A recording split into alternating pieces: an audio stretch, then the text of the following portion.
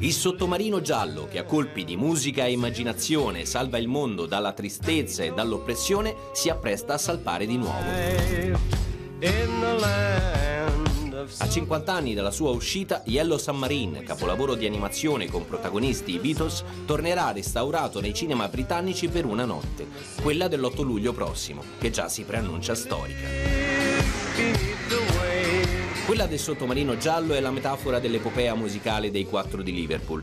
In dieci anni di attività attraverso tutti i generi del pop, con sperimentazioni che sbalordiscono tuttora, hanno veramente salvato il mondo dal grigiore e dalla monotonia.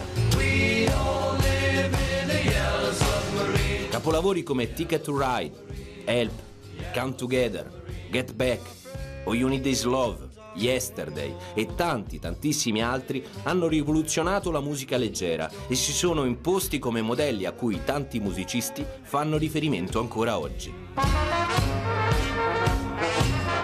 Hanno anche rivoluzionato il concetto di musicista innanzitutto esprimendo la loro curiosità verso tutti gli ambiti artistici e umani, cambiando in continuazione, cercando strade sempre diverse, e poi decidendo di porre fine alla loro unione nel momento in cui la ritenevano esaurita.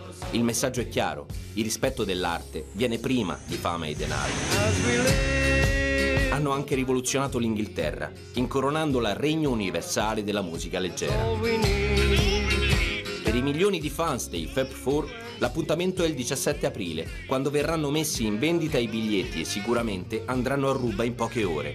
E per chi non riuscirà ad esserci, basterà riaccendere il vecchio stereo, spolverare il vecchio vinile e lasciarsi rapire da suoni e colori.